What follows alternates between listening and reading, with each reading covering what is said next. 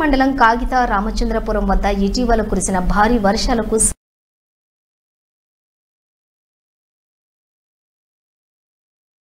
అన్నారు. ఘాటుగా ఆయన విమర్శించారు. మంగళవారం కోదాడ మండలంలోని గణపవరం ఎర్రవరం రామలక్ష్మీపురం బీక్యాతండ తొగర్రాయి గ్రామాలలోని ఎడమ కాలువ ఆయకట్టు కింద ఎండిపోతున్నటువంటి వరి పొలాలను పరిశీలించి ఆవేదన వ్యక్తం చేశారు.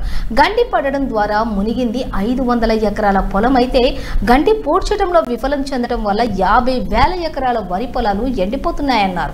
గండిపడి పన్నెండు రోజులు దాటిన నేటి వరకు పనులు పూర్తి కాకపోవటం ప్రభుత్వానికి రైతు రైతాంగంపై ఉన్నటువంటి నిర్లక్ష్యం అని ధ్వజమెత్తారు. వారం రోజుల్లో గండి పూడిపిస్తారని ఇచ్చిన హామీని మంత్రి ఉత్తమ్ నిలబెట్టుకోలేకపోయారని ఎద్దేవా చేశారు. వేల రూపాయలు అప్పులు చేసి గత మూడు నెలలుగా శ్రమించి వరి పంట సాగు చేసిన రైతాంగానికి కడగండ్లు మిగిల్చారని విమర్శించారు. రెండుసార్లు పర్యటించానని ప్రకటించుకోవటం కాదని గండిని దగ్గరుండి పూడిపించాలని డిమాండ్ చేశారు. టెండర్ల పేరుతో కమిషన్ల కోసం కాలయాపన చేస్తూ రైతాంగాన్ని నట్టేట ముంచుతున్న పాలకులపై రైతాంగం పెద్ద ఎత్తున ఉద్యమిస్తోందని ఆయన హెచ్చరించారు. రైతులకు బీఆర్ఎస్ పార్టీ అండగా ఉంటుందని యుద్ధ ప్రాతిపాదికన గండి పూర్తించకపోతే రైతాంగంతో కలిసి పెద్ద ఎత్తున ఆందోళన చేస్తామన్నారు. నీళ్ళు లేక ఎండిపోతున్న పంట పొలాలకు నష్టపరిహారం చెల్లించాలని డిమాండ్ చేశారు.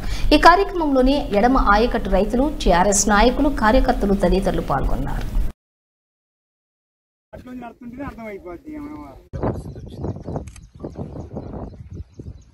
ఎప్పుడు జూలై ఆగస్టులో పడే నాట్లు వర్షాలు సకాలంలో పడలేదని చెప్పేసి నీళ్ళు లేక నాట్లు కొద్దిగా వెనక్కి జరిగితే ఇప్పుడు అకస్మాత్తుగా వచ్చిన వరదల వల్ల కట్టలు లేకపోయి ఆ కట్టల్ని రిపేర్ చేయించే నాదుడు లేక వరదలు వచ్చి పదిహేను రోజులైనా తెగిపోయిన కట్టల్ని పట్టించుకునే నాదుడు లేక ఈరోజు వేసుకున్న పంటలు చేతికి రాక చేసిన అప్పులు తీరక మనోవేదనకు గురై ఇబ్బంది పడుతున్న రైతు కోసను పట్టించుకునే పరిస్థితి ఈరోజు తెలంగాణ కాంగ్రెస్ ప్రభుత్వానికి లేదు.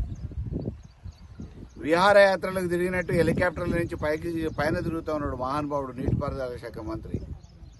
పొద్దున్నలేస్తే ఈ రెండు నియోజకవర్గాలకు మంత్రి మాదిరిగానే హెలికాప్టర్ని ఈ తొమ్మిది నెలల్లో ఎన్నిసార్లు తీసుకొని వచ్చిండో లెక్కలేదు ప్రజాధనాన్ని దుర్వినియోగం చేస్తుండ్రు పైన ఆకాశంలో తిరుగుతున్న ఆయనకి కింద భూమి ఈ పొలాలు నీళ్ళు రాని పరిస్థితి అవపడుతుందో లేదో మరి కనీసం ఇవాళ మేము పత్రికల ద్వారా తెలియజేస్తే బాగుంటుంది ప్రభుత్వం కనువిప్పు కలిగితే బాగుంటుంది అని చెప్పేసి కోరుతా ఉన్నాం. ఇవాళ ప్రత్యక్షంగా రైతుల సమక్షంలో వాళ్ళ పంట పొలాల్ని పరిశీలిద్దామని చెప్పేసి బీఆర్ఎస్ పార్టీ నాయకత్వంలో ప్రజాప్రతినిధులు కానీ రైతులందరూ కానీ బయలుదేరారు కారు గుర్తుకే!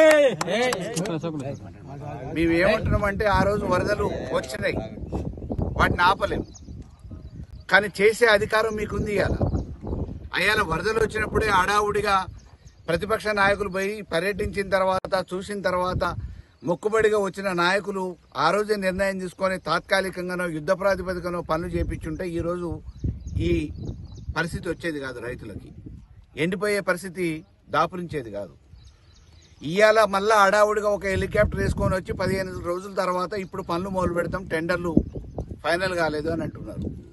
టెండర్ల గోల్మాలేందో మరి అందులో ఉన్న కమిషన్ల గురించి ఇన్ని రోజులు రైతులను ఇబ్బంది పెడితే ఆ పాపం ఉత్తగానే పోదు.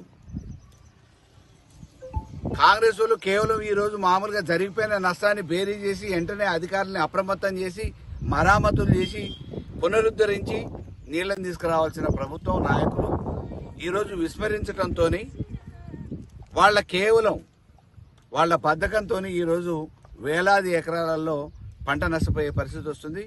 వందలాది వేలాది మంది రైతులు ఈరోజు రోడ్డు బారిన పడే పరిస్థితి వస్తుంది. ఇవాళ ఏదో స్పందిస్తాం రేపేదో స్పందిస్తాం వరదలు వచ్చినాయి నాట్లు కొట్టుకపోయినాయి మేట పెట్టింది మేము నష్టపరిహారం ఇస్తామని చెప్పేసి నష్ట నివేదికలు